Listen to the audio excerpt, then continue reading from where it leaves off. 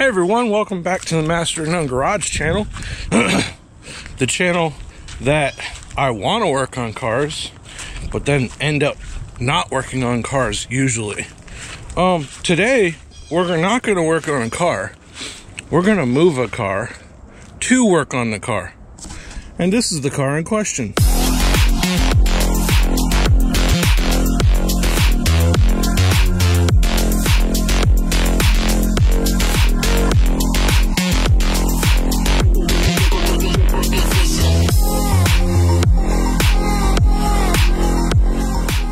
So right now, uh, I'm waiting for Ryan.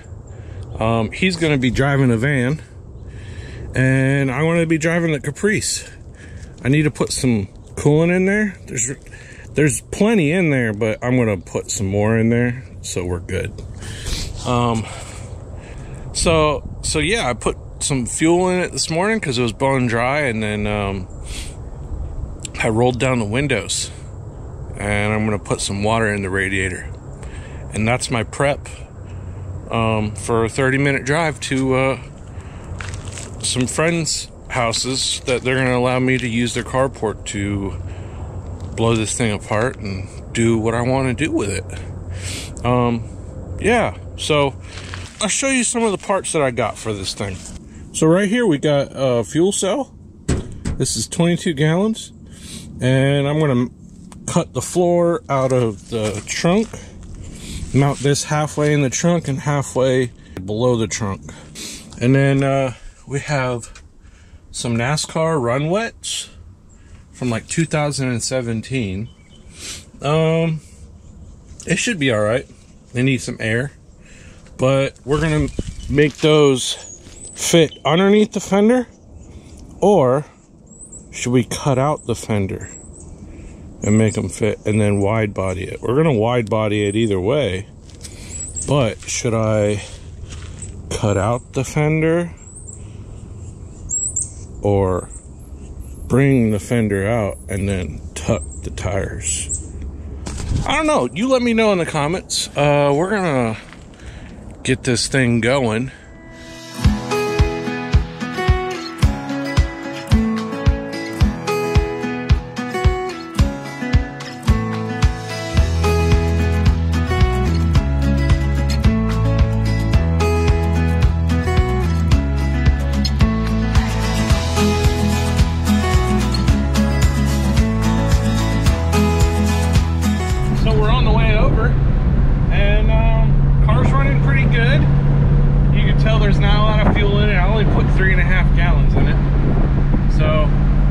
Slow down, you can hear the fuel pump go like, uh, uh, uh, when I go around corners, you can hear the fuel pump go,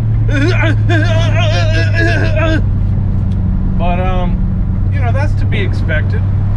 Um, we're going on uh, some back roads right now, and the car's doing pretty good. I mean, it's not running tip top, but it's kind of cool out, so the car likes that even though it's EFI, I can definitely tell with the temperature change, the car loves cold weather. Um, but anyways, hopefully that won't be a problem anymore. Because uh, one of the things we're going to be doing is, uh, you know, replacing the fuel system. I got a surge tank, which you probably saw in a previous episode, me uh, building that. I'll use that red fuel cell and I don't know how many fuel pumps I'm going to use. Two or three. Definitely two or three. Um, but we got uh, dash 10 AN line um, and it is um, E85 friendly.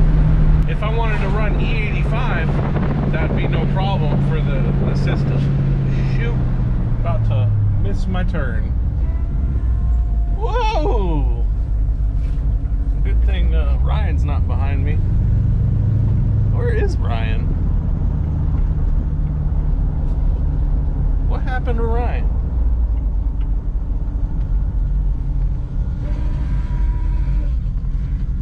Hold on. Ryan caught up. He's just a little slow. Um, uh, driving, not in the head. So don't even think that. That's that's mean for you to even say. Anyways, Ryan Ryan's doing me a big favor. Uh, bringing this car over and tailing me, make sure that I'm pretty sure this thing doesn't have uh, stoplights or blinkers or anything. So that's another thing that we gotta take care of. But the the the thing that I really am excited about is wide bodying the car. It'll be the only 67 B body Impala Caprice Bel Air Biscayne. As far as I as far as I know, that is wide bodied, especially four door hardtop because four door hardtops they're really sought after, especially the 67 year, um, because of the TV show Supernatural. Um, I'm, a, I'm, a big fan of that show. Uh, I remember me, my brother, and my dad watching the first episode when it, the pilot episode when it first aired, and we're like, looked at each other and we're like, yeah, this is the show that we're gonna watch forever and it practically lasted forever. It lasted uh, 15, uh, 15 seasons. Anyways, um, I'm a fan of the show, and this is the car from the shows, except theirs was an Impala, mine's a Caprice. So there's a little different, um, like the door panels. The rear lights were different. I've already swapped those over to the Impala because I I think the Impala uh, rear tail lights are a whole lot cleaner and nicer looking. There's a few things that I want to do as nods to the show, but I want mine to be mine. I don't want mine to look like every other tribute. And I respect those builds because I know it takes a whole lot of work to make something look like it was from the TV show. And um, because you're trying to get it to look a certain way. Whereas me, I'm just trying to get it close enough to what I see in my head. Um, but uh, anyways, hope I'm not rambling too much. If you guys have any suggestions on little things I can do to this car, I plan on doing a turbo, but it's not going to happen this time. Might happen later on down the road no pun intended. Um, right now, I think my goal is to get the fuel system squared away and get the wide body with the NASCAR wheels and tires fit fitted up that's my goal right now. And it's not going to be fit and finished. It's not going to have paint on it. It'll probably have primer on it, so it don't rust. Uh, but yeah, anyways, if you're excited for what's to come with this build, go ahead and smash the like button. And, uh, you know, subscribe and hit that little notification bell so when I do post videos, you'll be the first one to know, or the second one. Uh, I don't know how YouTube works.